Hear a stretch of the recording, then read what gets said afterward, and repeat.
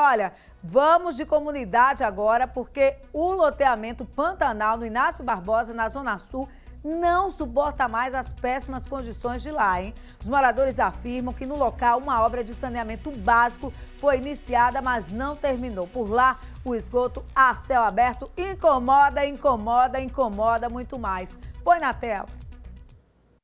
O problema de infraestrutura tem tirado o sossego dos moradores daqui da Avenida Pantanal. Observe que o esgoto a céu aberto passa no meio da principal avenida daqui do bairro. E aí sobram reclamações da comunidade. Há mais de um ano que era para ter feito essas obras e até hoje não fizeram.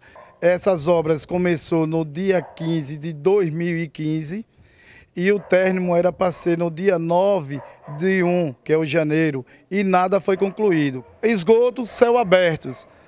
Quando enche a lagoa, as casas todas, fica tudo inundada de água. E como é que fica aqui? Dona Maria mora aqui no bairro há 16 anos e, segundo ela, o problema sempre existiu e nunca foi resolvido. Aí não dá, né? Com certeza que aqui passa muita criança, na cerca de mais ou menos 60 crianças para creche. Aqui falta colégio, falta creche, falta posto de saúde. E o mau cheiro? O mau cheiro ninguém pode nem falar que aí a gente vai cada vez entupido de mau cheiro. Aqui nós não temos saúde, não temos creches, não temos escola, estamos abandonados pelo poder público.